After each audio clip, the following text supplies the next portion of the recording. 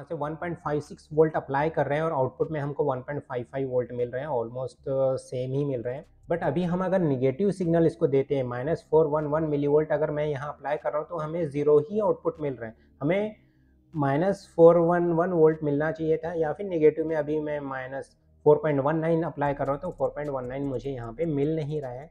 जो बफर का फ़ंक्शन है एज इट इज़ सिग्नल मुझे यहाँ पे देना चाहिए था। निगेटिव सिग्नल को ये प्रोसेस ही नहीं कर पा रहा है। निगेटिव सिग्नल्स के लिए यहाँ पे मुझे आउटपुट ज़ीरो ही मिल रहा है। लेकिन अगर मैं यहाँ पे पॉजिटिव डायरेक्शन में कोई भी सिग्नल दे रहा हूँ, उसके लिए मुझे आउटपुट मिल रहा है। भले ही वहाँ पे थोड़ा सा ऑफसेट हमें दिख रहा है।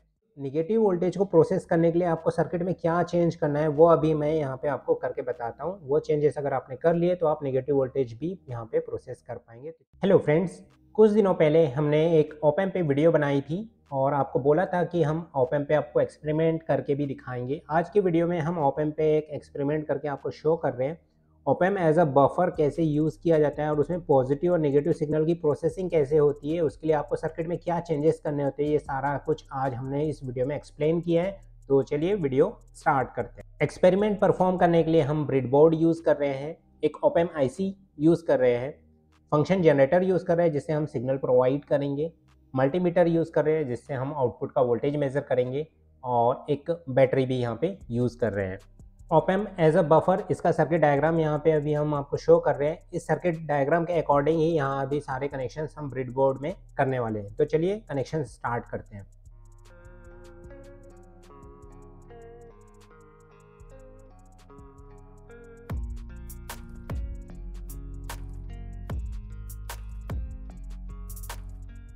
फ्रेंड्स, ये सर्किट अभी यहाँ कंप्लीट हो गया है। मैं आपको कनेक्शन एक बार एक्सप्लेन कर देता हूँ। यहाँ पे हमने ओपैम यूज़ किया है। ये एट पिन का ओपैम है। तो फोर्थ नंबर का जो पिन है, उसको हमने ग्राउंड से कनेक्ट कर दिया है। बैटरी के नेगेटिव टर्मिनल से उसको कनेक्ट किया हुआ है, जो as a ground potential act कर रहा है। सेवन्थ नंबर के पिन पे वी सप्लाई दिया है, मीन्स पॉजिटिव सप्लाई दिया है। फोर्थ नंबर का पिन को ग्राउंड करके रखा हुआ है। जो सेकेंड नंबर का इन्वर्टिंग टर्मिनल है, उसको आउटपुट से शॉर्ट किया हुआ है। और आउटपुट वोल्टेज मेज़र करने के लिए यहाँ पे मल्टीमीटर भी हमने कनेक्ट किया हुआ है। थर्ड नंबर के पिन पे फ़ंक्शन जनरेटर का इनपुट प्रोवाइड कर रहे हैं और इस वे से ये पूरे कनेक्शन यहाँ पे कंप्लीट हो गए हैं। अब हम फ़ंक्शन जनरेटर से सिग्नल वेरी करके देखेंगे और वोल्टेज आउटपुट क्या मिलता है वो भी चेक करेंगे। यहाँ फ्रेंड्स आप देख सकते हैं, हम जो फ़ंक्शन जनरेटर है वहाँ से 1.56 वोल्ट अप्लाई कर रहे हैं और आउटपुट में हमको 1.55 वोल्ट मिल रहे हैं ऑलमोस्ट सेम ही मिल रहे हैं। जो ऑफसेट वोल्टेज होता है उसकी वजह से आपको कुछ वेरिएशन मिलेगा। 3.37 वोल्ट अप्लाई करने पे भी हमें 3.7 वोल्ट ही मिल रहा है, जो एक्सपेक्टेड है बफर में वैसा मिलना चाहिए। पाँच वोल्ट देने पे आउटपुट हमको एग्जैक्ट फाइव वोल्ट यहाँ पे मिल रहा है। अब हम वोल्टेज अगर कम करते हैं तो भी आउटपुट हमें सेम जो भी लेवल हमने दिया है, कम करके वही हमको यहाँ पे मिल रहा है। तो ये बफर की तरह काम कर रहे हैं। बट अभी हम अगर निगेटिव सिग्नल इसको देते हैं minus four one one millivolt अगर मैं यहाँ अप्लाई कर रहा हूँ तो हमें ज़ीरो ही आउटपुट मिल रहा है। हमें minus four one one volt मिलना चाहिए था, या फिर नेगेटिव में अभी मैं minus four point one nine apply कर रहा हूँ तो फोर पॉइंट वन नाइन मुझे यहाँ पे मिल नहीं रहा है।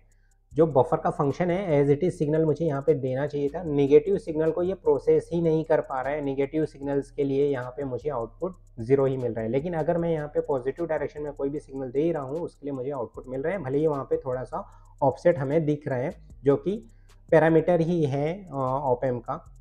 जैसे 2.63 वोल्ट अप्लाई कर रहे तो हमको 2.64 वोल्ट यहाँ पे मिल रहा है। तो निगेटिव वोल्टेज को प्रोसेस करने के लिए आपको सर्किट में क्या चेंज करना है, वो अभी मैं यहाँ पे आपको करके बताता हूँ। वो चेंजेस अगर आपने कर लिए तो आप निगेटिव वोल्टेज भी यहाँ पे प्रोसेस कर पाएँगे। तो चलिए अभी वाले कनेक्शन भी हम यहाँ कंप्लीट करते हैं।